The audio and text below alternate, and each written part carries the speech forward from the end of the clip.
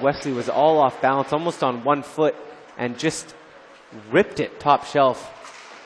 Another chance in front here. Big save, Trenzianski still loose, and then there's another goal for the Sockeyes. Matt Colasimone poking one in. 6 0 Richmond.